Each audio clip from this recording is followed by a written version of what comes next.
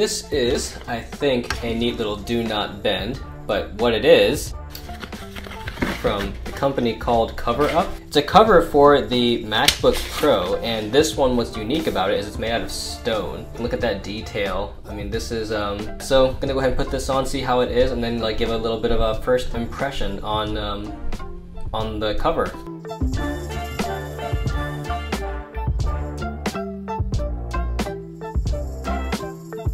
So here is the MacBook without any skin on it. I'm gonna go ahead and apply it. Um,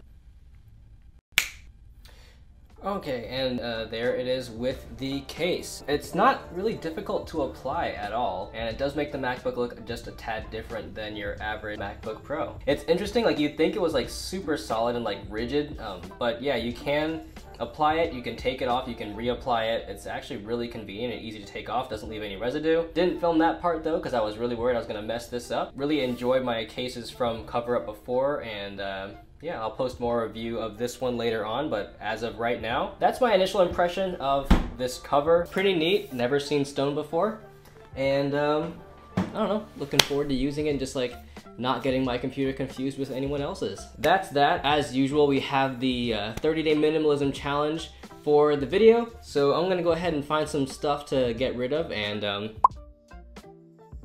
Wow, look at that sunset. I should drone that sunset. Found 13 items but I've resorted to basically like considering anything that is that I've kept like I've I remember like intentionally remember keeping and now like do not know the reason why. Like, I kept it for over a year two years looking at it and then not throwing it away. This sugar bag the issue being it was torn open and there were bugs everywhere um, in the place where this was stored. So items two through eight nozzle. These two bottles of chemicals, expired peppermint, keg cleaner, cayenne pepper, there's webs on everything, ascorbic acid, more stuff.